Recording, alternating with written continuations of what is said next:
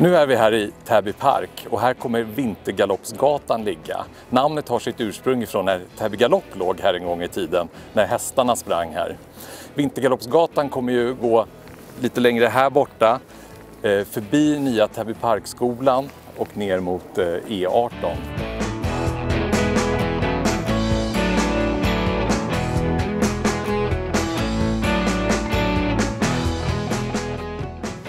Täby Galopp anordnade vintergalopp varje vinter här.